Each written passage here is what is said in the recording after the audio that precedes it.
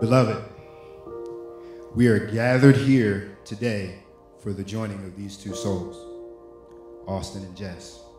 For this reason, we are here to witness to this commitment of marriage.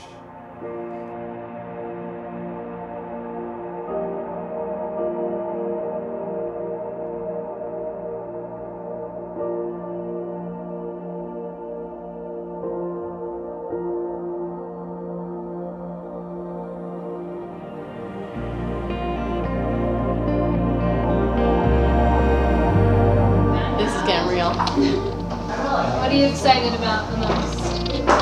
To see Austin.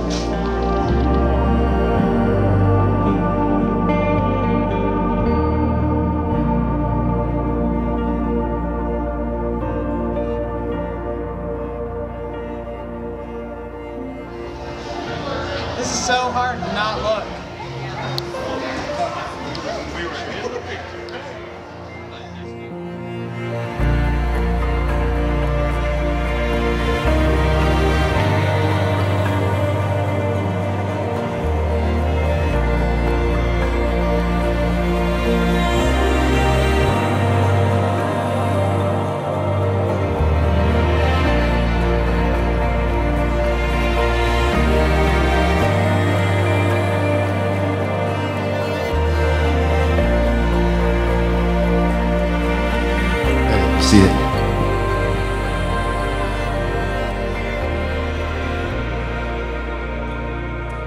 Beloved, we are gathered here today for the joining of these two souls, Austin and Jess. For this reason, we are here to witness to this commitment of marriage. Austin and Jess, will you take these vows here before us, which symbolize the manifested vows you have already made and will continue to make to each other throughout your lives? If so, will you answer, We will?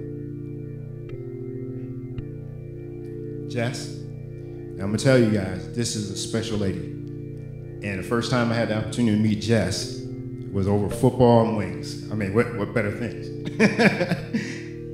and and I remember talking with Oz, and I was like, Oz, dude, she's a keeper. I said, I'm not trying to jinx you, brother, but it's yes. And again, here we are. Not saying that I called it, but maybe a little bit. And Dad. Austin and Jess have given themselves to this commitment called marriage.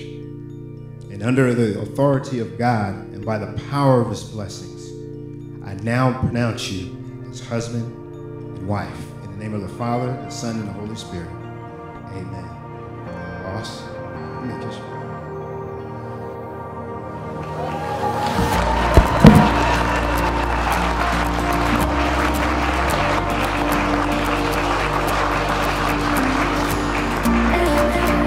ladies and gentlemen, let me be the first to introduce to you Mr. and Mrs. Spohn.